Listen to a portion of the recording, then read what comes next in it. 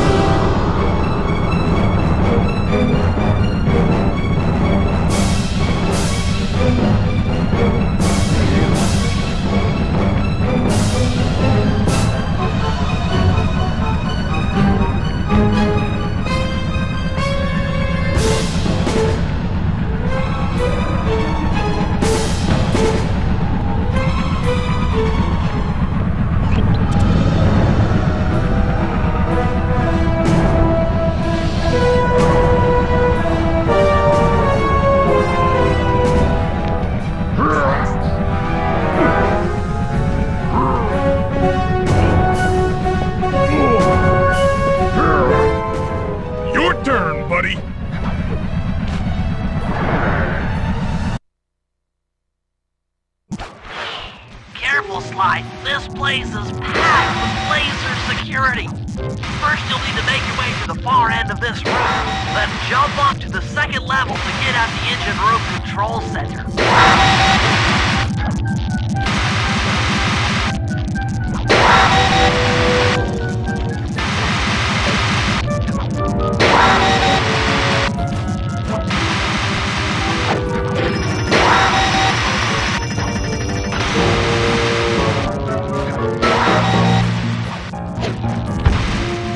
All right, the control center is opposite your position in the room. With some well-timed spire jumping, you should be able to get access.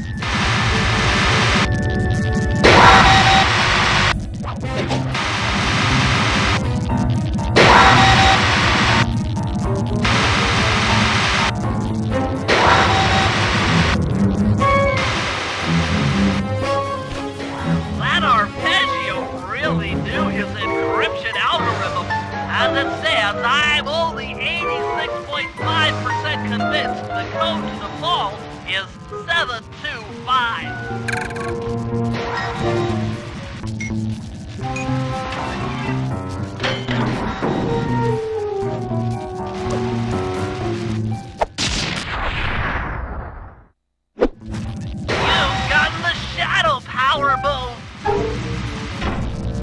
That's lights out for this engine.